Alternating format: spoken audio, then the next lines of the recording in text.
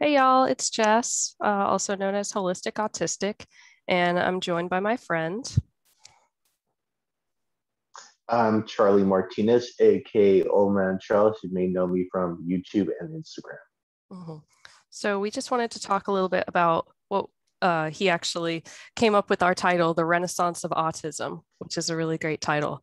Um, because before the internet, was like a huge big thing and we have the autism community in the way that we've connected uh, today then there wasn't as much knowledge about autism and how it actually presented in the vast variety of people that we now can see.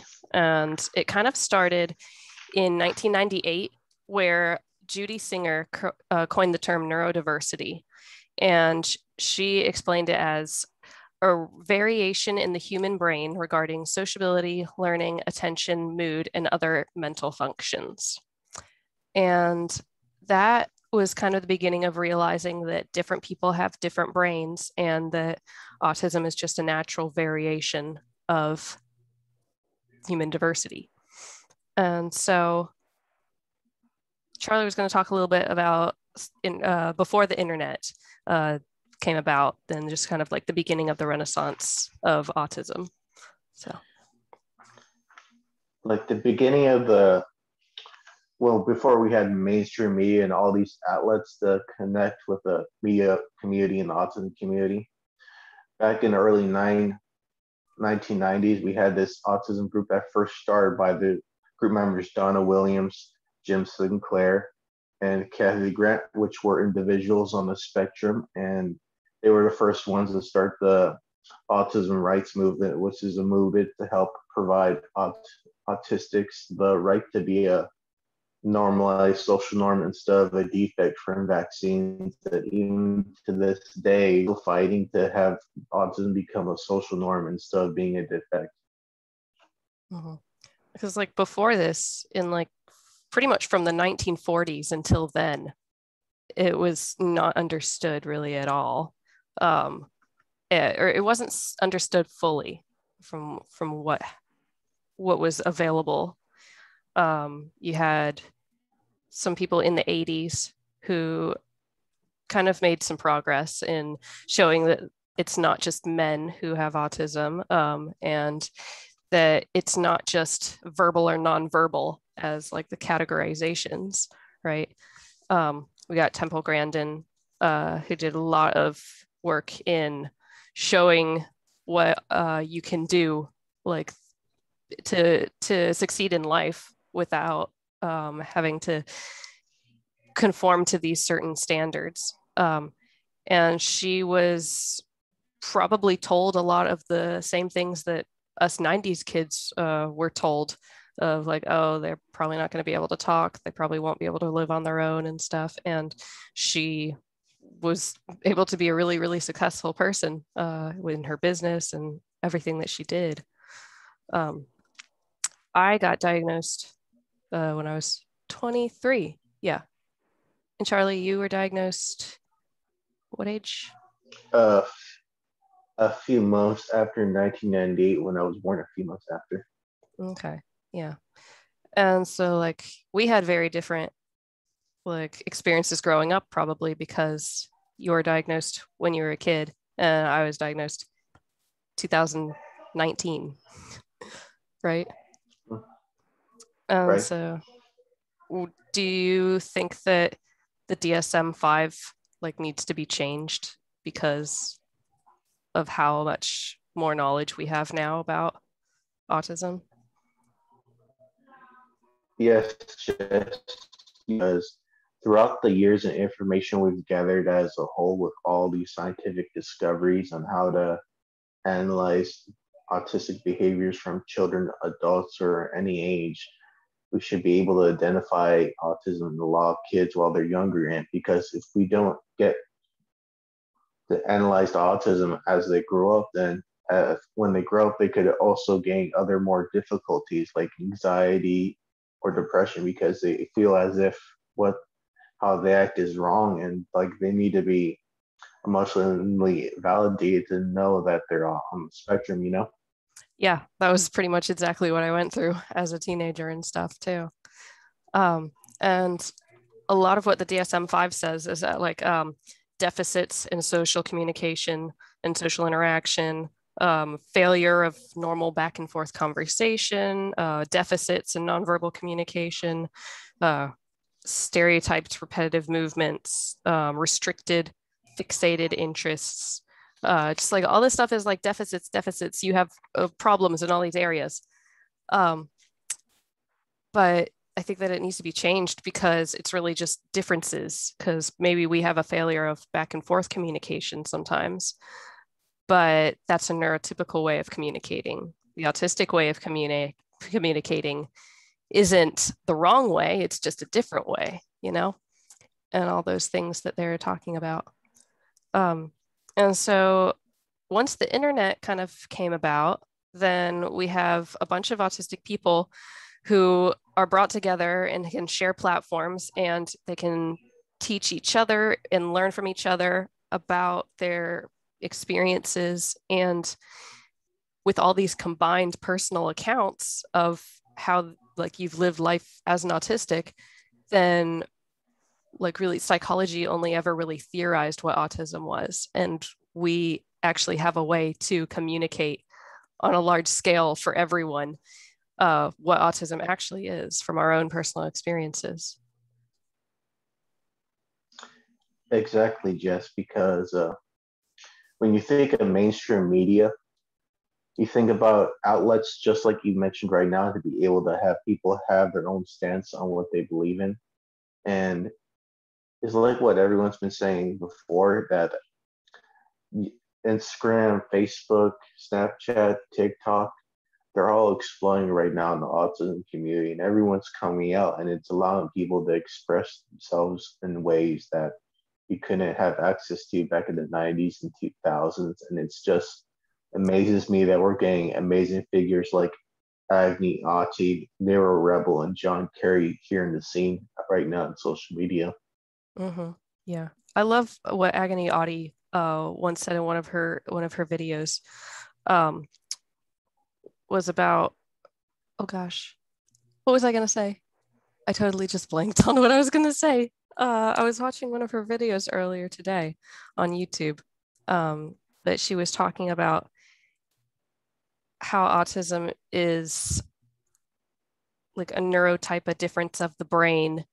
And so because we have all these differences in different areas um, then when we when we all connect then we're able to say oh these these things are normal about us these things are okay um, and so much of autism is stigmatized in a way that when we actually come out as like authentic autistic people then people then like other people are always like oh you're faking. Oh you're not really autistic. There's a whole there's a whole issue with that being said about tons of autistic people online and that's really just because people don't actually know what autism is. And so when they see an aut- a real autistic person behaving differently from a few characters in movies that most people just think is the extent of autism then that's that's what you get when people don't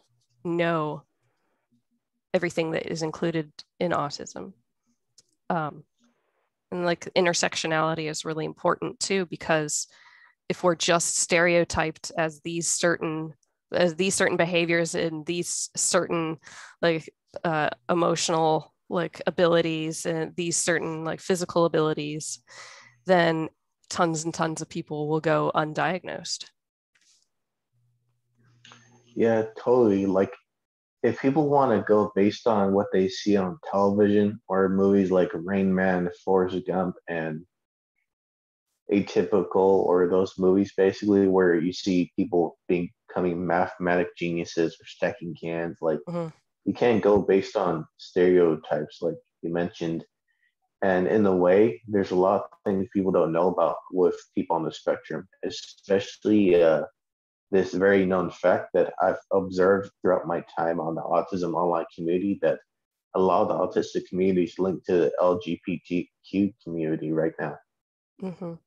And there's also like there there's lots of evidence that maybe it's not because you're autistic you experience these certain things or uh, present in this certain way or have these coexisting conditions but it's linked to autism somehow. And just like we're more prone to be certain other things. Um like lots of lots of us have like comorbidities. Uh i i don't have like any physical like disabilities but there's a lot like there should be way more research on the links of autism and epilepsy or Ehlers-Danlos syndrome and all these different things um, because then with more knowledge comes more power you know? Or like autism and uh, anxiety or both come together pretty much right? Mm-hmm. yeah. And so i think that what what I was thinking of um, before, I never got across to it. But Agony Autie, she said uh, she said something once about how where we are right now with the autism like community um, is where like the gay community was in the 1970s, and like it's a weird it, it's kind of weird to compare those two, but like the like I don't I don't think that like we should like be comparing different um like uh, minorities or like anything like that. That's not what the point is. The point is that we are like so at the beginning of like a revolution through the medical community to actually understanding autism. Like we're right at the beginning. The internet and everyone who's like autistic accounts have all like been combined like on the internet. Like that is the beginning of something huge. And I think that the more we push for equality then uh, the more that autism will become a social norm. So it's accepted instead of stigmatized and misunderstood. Exactly. And we're just going to keep on growing like it's like, like it says in the title of this video, it's going to become like an autism renaissance. We're just going to keep on growing in age. And once we're on the rise, we're going to just keep on growing. Mm-hmm. Yeah. I, I like how lots of places um, have autistic pride festivals actually because we are openly becoming more aware that like we are entitled to be out in public and existing as autistic people just like anyone else is entitled to like live their life uh, as themselves. Uh, like i'm i'm really excited for like more of that kind of stuff to come up. We have like autistics have like autistic is autism is kind of like a subculture actually that we're we're lucky to be born into. Um like we've got like so much like richness as like a community that that's really that's really all that we want. So. Yeah because you know growing up like we can each individually think that we're like one of a kind in our own community where there's rarely any autistics around where we live. But like mm-hmm. you gotta think of it this way. We live in a small world, even though it's like a giant planet, but it's like being the one uh negative it's like being the Aspie neurotype out of your whole community pretty much. yeah, exactly. If that's the right word. well, this is a good talk. Thanks for joining me. Thanks for collaborating. It was fun. No problem. Mm-hmm. So, it was an honor to be here. oh, hmm.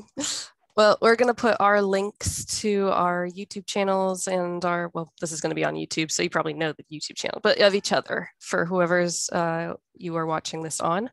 We're also going to put some Instagram links and whatever else that you can do to contact us.